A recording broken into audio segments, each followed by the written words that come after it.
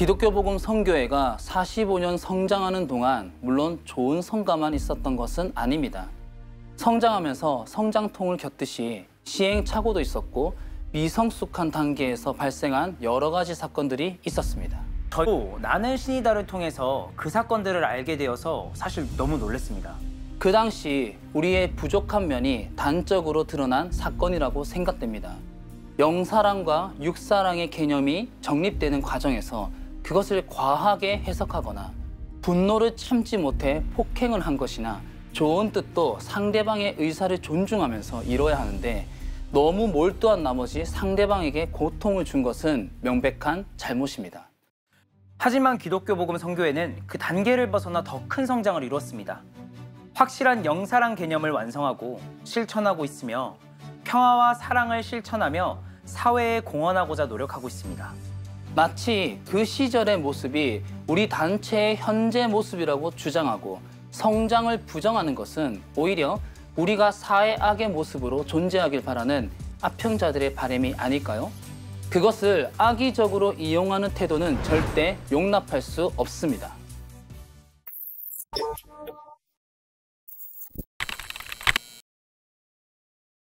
나체 동영상을 당사자들의 동의 없이 사용한 것에 대해 문제를 제기하는 한 언론사의 질문에 나는 신이다를 만든 조 PD는 인터넷에 오래전부터 떠도는 영상을 쓴 것이 무엇이 잘못이냐는 식의 답변을 해서 논란이 되고 있습니다. 성폭력 피해자를 막기 위해 이 작품을 만들었다는 PD가 할 수 있는 말입니까? 이것도 확실한 디지털 성폭력인데 엠번방 사건을 예로 들어보겠습니다. 영상을 찍은 자가 어떤 목적으로 영상을 찍었든 간에 촬영에 동의를 했다고 하더라도 그 촬영물에 대한 유통은 동의하지 않았다면 그 촬영물을 유통시킨 자의 문제가 되는 것입니다. 이 영상 속의 사람들이 어떤 목적을 가지고 찍었던 간에 그것을 유통시킬 권리는 PD에게 없습니다. 영상 속의 인물들은 수년간 고통받아온 피해자입니다. 그런데 그들을 보호하지는 못할 망정 선정적인 연출로 표현하고 강조한 영상을 만들어서 유통시키는 것은 매우 심각한 범죄입니다. 본인들이 저지르는 폭력과 불법은 불가피하다는 식의 논리는 작품 전반에 있습니다. 특히 이 사건을 다룬 방송의 태도는 매우 심각합니다.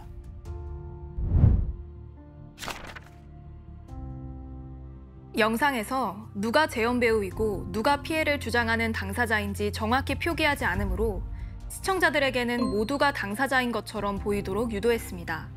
허무맹랑한 이야기를 전문 배우를 통해 재현함으로써 더 사실적으로 보이게 만들었다는 것을 이 사건을 통해 알 수 있습니다.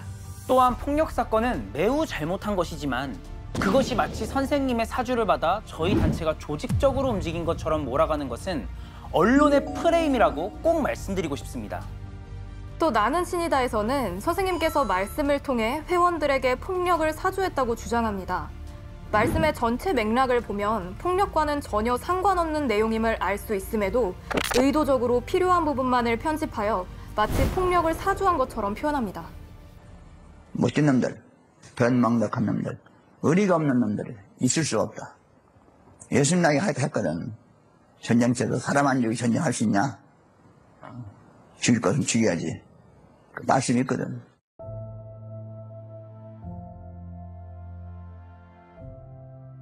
인간이 먼저 하나님을 사랑해야 온전하고 완전한 하나님과의 사랑을 이룰 수 있습니다.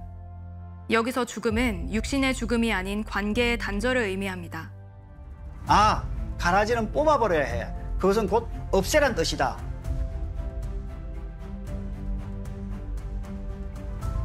우리의 마음밭에 하나님의 좋은 말씀으로 씨를 뿌렸으니 선과 악을 확실히 알고 의로운 삶을 살라고 가르쳐 주신 것입니다. 이것을 테러 지시로 해석하는 것은 그 자체가 지나친 비약이며 비정상적인 해석입니다.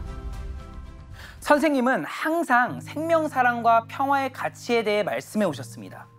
말씀을 통해 폭력을 사주했다는 것은 어이없는 주장입니다.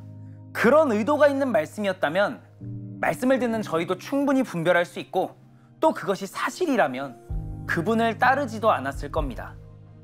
선생님의 말씀은 선생님의 삶 속에서 실천을 통해 받아오신 말씀이고 우리 또한 그 말씀대로 실천하며 살아갈 때 개개인에게 역사하시는 하나님을 느낄 수 있었습니다. 그만큼 하나님의 뜻과 사랑이 담긴 말씀이었기에 그분을 스승으로 따른 것입니다. 다시 한번 말씀드리지만 폭력, 폭언은 잘못된 행위입니다. 그 당시 부족했던 모습을 시인하고 반성합니다. 하지만 그것을 전체의 모습으로 확장시켜 비난하고 오해하도록 만드는 것은 또 다른 문제입니다.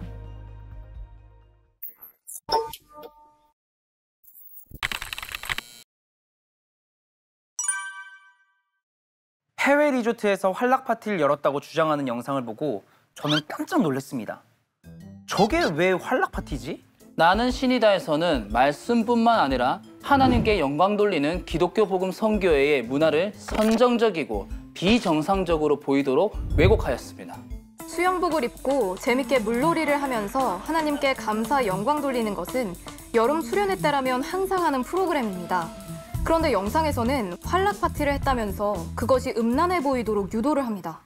그 리조트 하나를 거의 빌려서 한국에 있는 정명석이 여자들을 불렀어요. 바닷가 가서 놀고 거의 뭐 노는 분위기, 응. 노는 분위기, 섹스하는 분위기.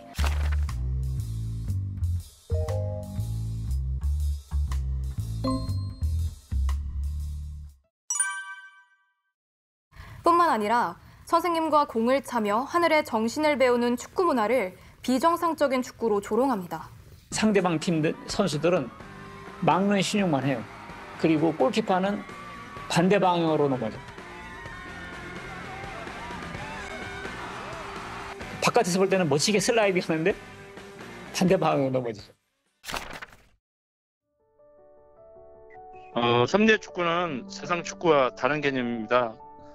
어, 선생님은 저희들에게 축구를 통해 하나님을 중심하며 어, 육체와 정신을 단련하는 법을 저에게 어, 실제적으로 보여주고 가르쳐 주셨습니다. 세상의 축구는 상대를 누르고 때로는 반칙과 편법을 쓰면서까지 오직 승리를 목표로 하지만 섭리의 축구는 평화 축구로서 상대를 존중하고 또 배려하며 또 어, 반칙을 쓰지 않고 어, 정정당당하게 또 경기를 합니다. 오로지 하나님을 중심하면서 경기를 즐겁고 행복하게 하는 것을 중요하게 생각합니다. 축구 자체로 성삼께 영광을 돌리고 하늘을 중심하는 법을 배우는 실체적인 교육이자 설교라고 보시면 됩니다. 막 우리는 격렬하게 몸싸움도 하고 부딪히고 막 이렇게 축구를 배웠는데 이거는 뭐 그냥 웃으면 축구장에서 웃는다는 자체가 있을 수 없는 거잖아. 축구를 하면서 하나님을 찾는다는 게 너무 우리한테는 어려웠지. 내 선생님 만나고 나서부터 직접 보는 거야. 아, 선생님 축구를 하면서 저렇게 하나님 찾는구나.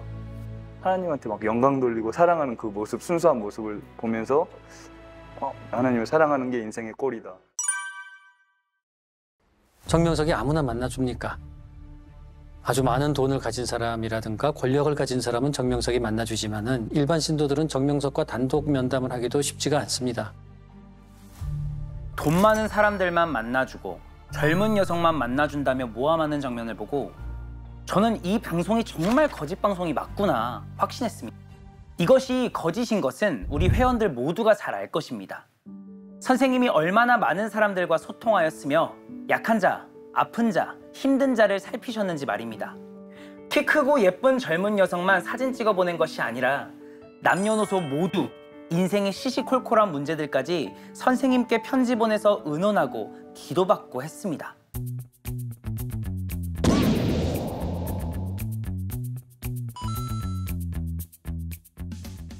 저는 사실 선생님께 편지 쓰는 것에 대해 회의적인 입장이었어요. 편지 보내는 사람이 한 트럭은 있을 텐데 사소한 이유로 편지를 보내는 게 좀 죄송스럽더라고요. 그러다가 제 인생의 기로가 걸린 문제가 있어서 편지를 그때 처음으로 써서 보냈는데 제 문제에 대해서 이렇게 저렇게 해봐라 하고 알려주시는 구체적인 내용의 긴 답장을 주셨어요.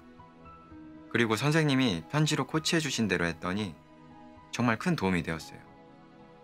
네. 저는 선생님께 손편지를 드린 경험이 있습니다. 이후 상황을 수행하시는 분께 듣게 되었는데요. 제가 글씨가 읽으시기에 작으셨는데도 돋보기로 하나하나 읽어보셨다고 합니다. 그 이후에 답장을 받게 되었는데 선생님의 편지는 저에게 큰 힘이 되었고 문제를 해결할 수 있는 방향으로 이끌어주는 계기가 되었습니다. 누구보다 힘든 환경에 계셨지만 밖에 있는 우리를 더 걱정하며 살피신 것은 그 시절을 함께 보낸 회원이라면 누구라도 압니다. 교회에 있는 일을 선생님께, 총재님께 직접 보고하는 역할이다. 라고 걔네들은 말을 하지만 왜 보고자는 전부 20대 초반의 여자들만 보고를 합니까? 남자들은 보고하면 안 됩니까? 보고자는 한마디로 어, 현지처예요. 정명석의 섹스 파트너고 보고자에 대해 설명드리겠습니다. 선생님과 돌 작업을 하고 또 운동을 같이 하는 남자 회원들은 선생님을 가까이서 접하고 배울 기회가 많았었지만 상대적으로 선생님과 할 수 있는 게 많지 않았던 여성 회원들은 교회의 여러 가지 것들을 보고 드리는 일을 맡는 경우가 많았습니다. 그리고 남자 회원들이 보고하는 경우도 많았습니다. 이런 속사정을 알지 못하며 현지천이 뭐니 모함하는 것은 기독교 복음 선교의 여성 전체의 인권과 인격을 모독하는 행위입니다. 여성을 주체적으로 자기 의사 결정을 하지 못하는 약한 존재로 인식하는 전형적인 남성 중심의 가부장적 시선이라고 볼 수 있습니다. 그리고 그 이후에 여성 축구가 활성화되면서 선생님과 여성들도 축구를 하기도 했습니다.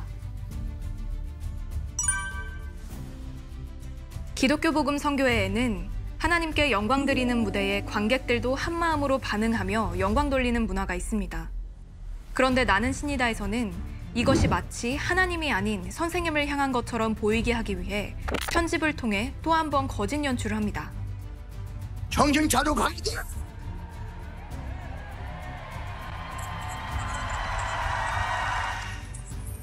행합니다.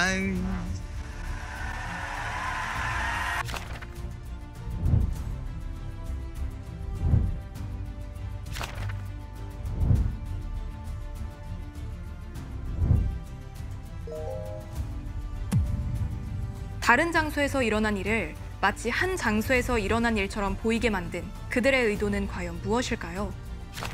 화를 내는 선생님, 그리고 그의 말에 무조건적으로 반응하는 사람들을 보여줌으로써 선생님에게 세뇌되어 광적으로 따르는 집단의 모습을 연출하고 싶었던 것이 아닐까요? 이것은 다큐도 드라마도 아닌 범죄라고 말씀드리고 싶습니다.